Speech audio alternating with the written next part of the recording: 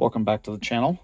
Uh, one of the things I mentioned in my introductory video, uh, if you haven't seen that, uh, go back and watch it. But uh, this bus has an Allison 3000 PTS transmission in it, which uh, means uh, it has a sixth gear double overdrive, which is by default not enabled on a school bus.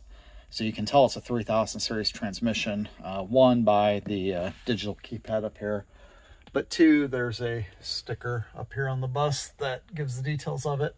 And when we crawl underneath the bus, I'll show you the tag on the transmission itself. So if I turn the key on here,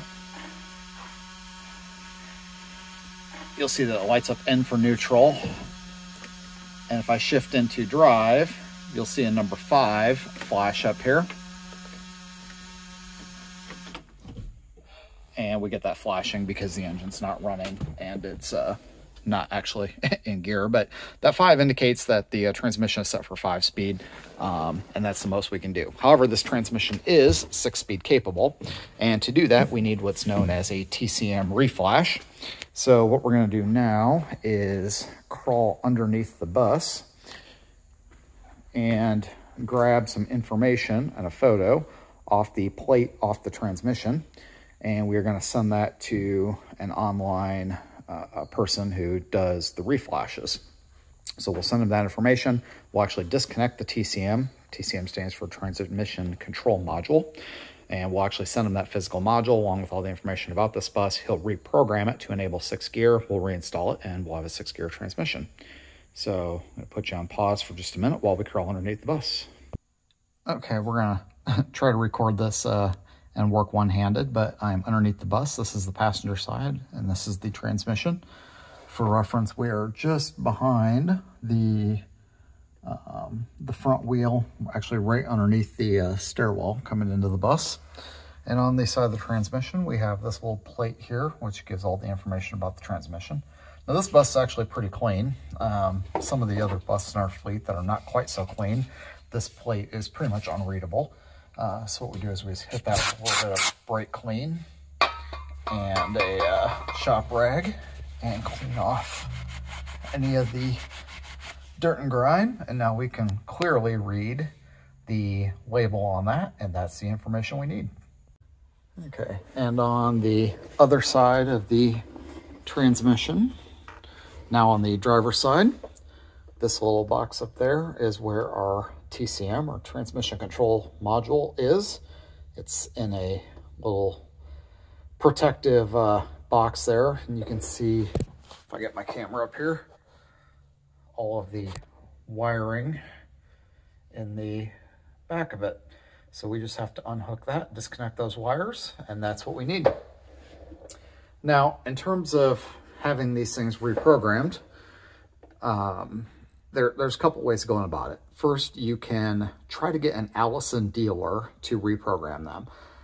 And Allison will reprogram them as long as they have a letter from the OEM of the bus, um, so International in my case, or Bluebird, or Thomas in your case maybe. Uh, as long as Allison has a letter from that OEM authorizing them to reprogram, they will do it. The trouble is getting that authorization is uh, a giant pain, to put it mildly. Um, from what I've heard, Bluebird won't do them at all. Thomas is kind of hit and miss, and International, um, as long as you jump through enough hoops and wait several months, they will do it.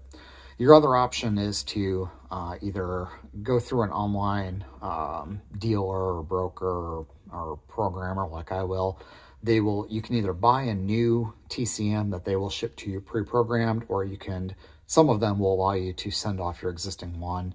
They will reprogram it and send it back to you. Uh, the downside uh, I mean if you go through having Allison do it you know with an OEM letter you know you're you're you know covered by you know an Allison warranty. It's all official. Everything's done right. You probably will take your bus to a shop to have it done.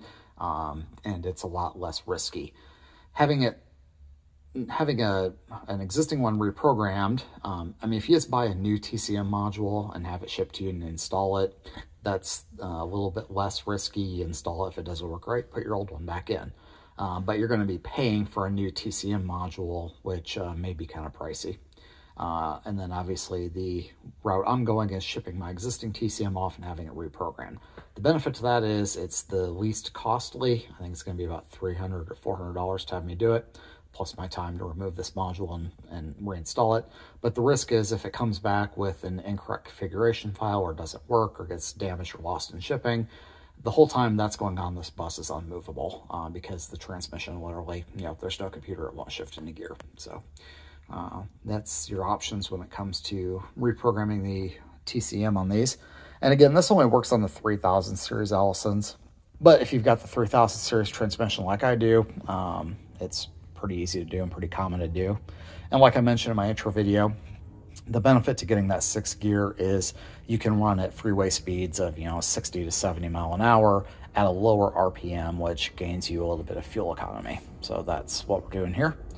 So I'm gonna put down the camera. We're gonna go and disconnect that TCM and get it ready to mail off. Okay, quick video as I'm sitting here at home editing. Uh, I've lost the clip um, after I got that TCM down and off there. Um, but after I got down, I took some more brake clean and cleaned the label off the TCM itself. So the information on it was readable, uh, including the CIN number, which is uh, important for the reprogramming. And uh, we got that uh, packaged up uh, and mailed to the programmer. Um, today is uh, Saturday, um, and UPS tracking, he got it yesterday, um, and said he's going to program it uh, today and uh, ship it back to me tomorrow. So hopefully we have that back in the next few days and can get it reinstalled. I'll make another video when that happens, but uh, that's kind of the uh, where we're at with that one, but I'll close this video out, and we'll see you next time. Thanks.